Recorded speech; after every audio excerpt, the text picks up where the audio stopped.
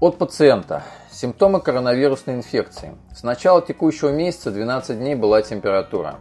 На снимках возможны следы плеврита десятилетней давности в правом легком. На аппарате КТ не работал дисковод, дали только пленку.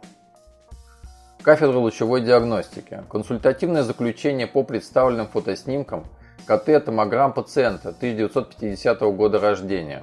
Дата исследования 12 июля 2020 года. Область исследования – органы грудной клетки. При мультиспиральной компьютерной томографии с использованием реконструкции в сагитальной, аксиальной и фронтальных плоскостях построением трехмерной реконструкции органов грудной клетки. Легкие расправлены, на верхушках легких превроапикальные наслоения, более выраженные справа, ВС1, 2. Справа сформированы немногочисленные буллы диаметром до 35-35 мм.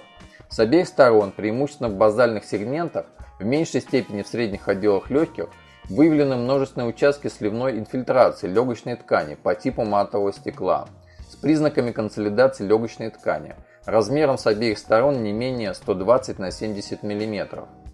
Ход и проходимость трахеи главных и долевых бронхов не нарушены. Средостение достоверно не оценить. Заключение. КТ-картина двухсторонней полисегментарной, вероятно вирусной пневмонии, с вовлечением в процесс не менее 35% легких, средней степени тяжести. Единичные буллы правого легкого, фиброзные изменения S1-2 справа. Рекомендована консультация терапевта для решения вопроса о госпитализации. Ассистент кафедры, кандидат медицинских наук Котов М.А. Комментарий врача-рентгенолога.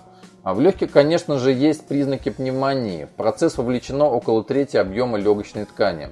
Учитывая возраст, с этим я бы посоветовал в больницу под наблюдением врачей. Без дайком файлов описать более точно невозможно, но принципиально картину они не изменят. Следы перенесенного массивного воспаления правого легкого тоже видны. Они будут всегда на КТ.